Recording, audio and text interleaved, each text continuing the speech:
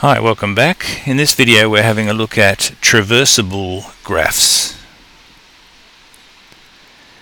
A traversable graph has a trail that includes every edge and this trail can be traced without repeating an edge or taking your pen off the paper. That's a, an indication that you've got a traversable graph. If you can trace around every edge without repeating any or taking your pen off the paper, you have a traversable graph. So let's have a look at this one here.